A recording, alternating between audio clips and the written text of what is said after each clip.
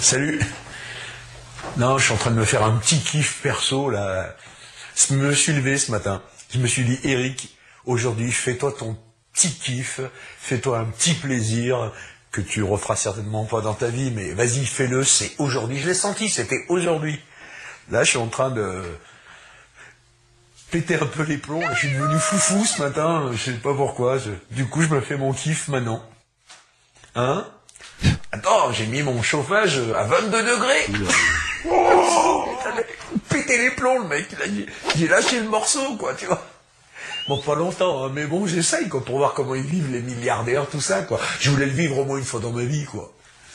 22 degrés, oh le ouf N'en parlez à personne, non, non, parce que ça fait un peu prétentieux, quand même. Bon, je vais vite arrêter, désolé, parce que le kiff, ça va 5 minutes.